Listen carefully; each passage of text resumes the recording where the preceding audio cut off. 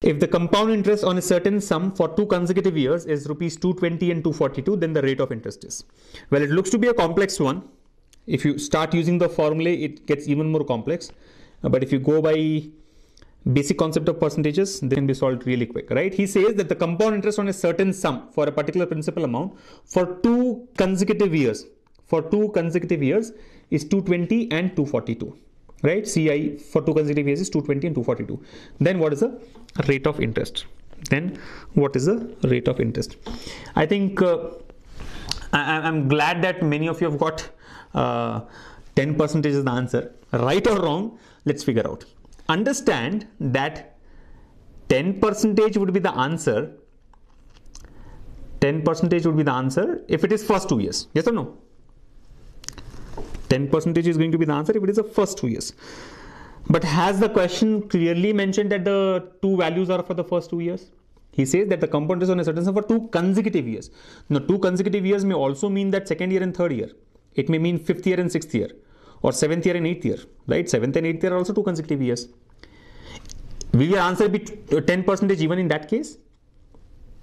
I'll, I'll, explain you how people have arrived at 10 percent. Right? Most of you have got 10 percent is the answer to this question. What happens? Let's say compound interest for first year, CI for first year, first year is equal to 220.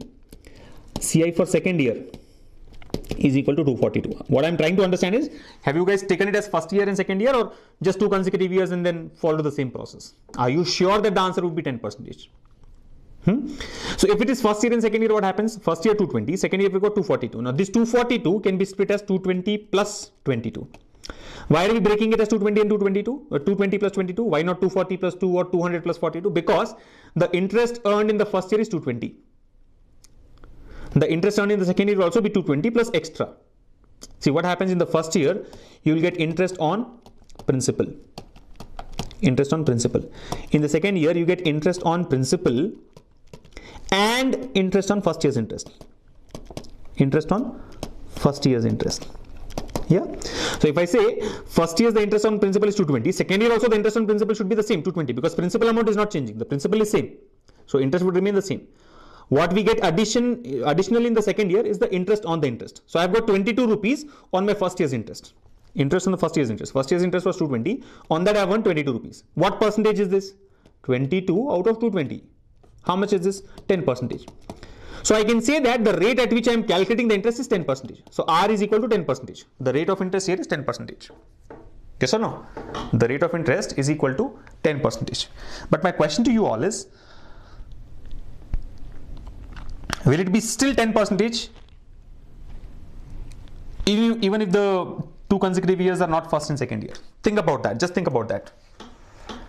All if you have got 10 percentage, but will it still be 10 percentage if these are not first year and second year?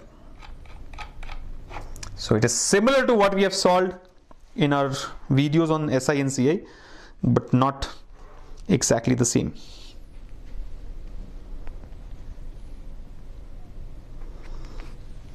Yeah, 10 percentage is the answer. Now think of it. Suppose if it is third year and fourth year, or seventh year and eighth year, or second year and third year. Would you still say the answer is 10 percentage?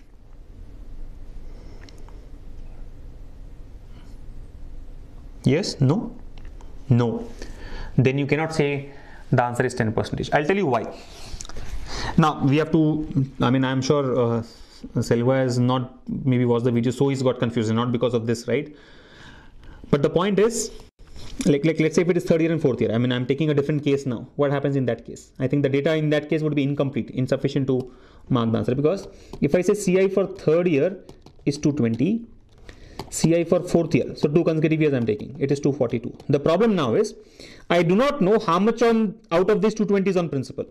See here it's very clear. In the first year, in first year you get interest only on the principal amount. You won't get any other interest because there is no uh, interest which was earned before that, right?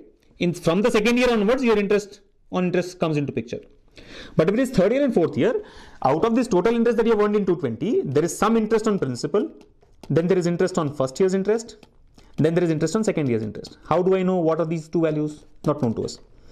In third year, what happens? There will be interest on principal, plus there will be interest on first year's interest, plus there will be interest on second year's interest, plus there will be interest on third year's interest.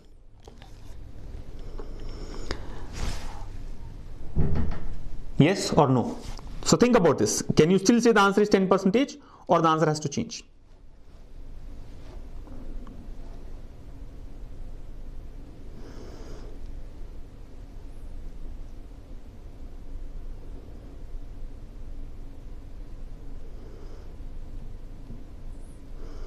Again, I, I think I have not taken the right set of variables.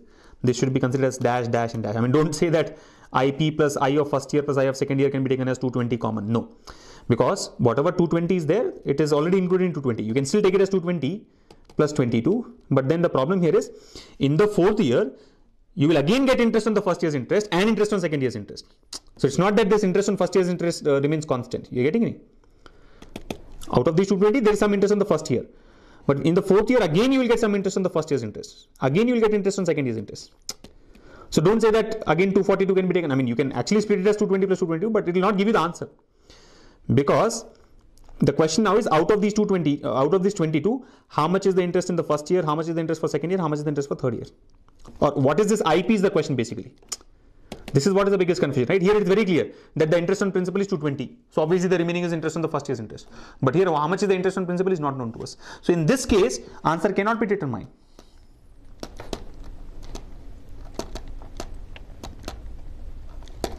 No? Yes? So be very careful. The data is insufficient. Strictly speaking, to the question that uh, Silva Sports posted, the data is insufficient for us to mark the answer. Answer cannot be determined here. Right? Answer cannot be uh, determined. All right.